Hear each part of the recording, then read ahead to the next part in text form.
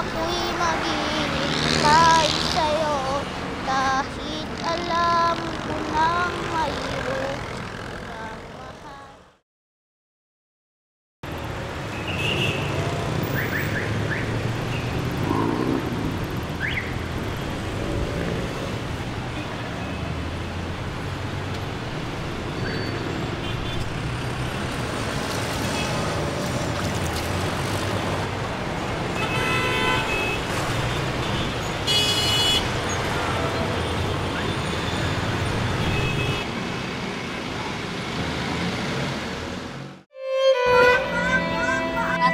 tapos kumain.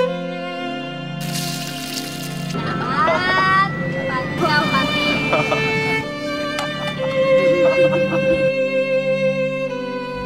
Kuya, gusto kong makita si nanay.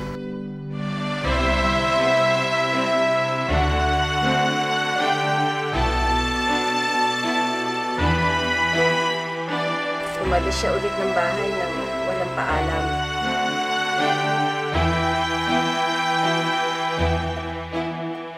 団体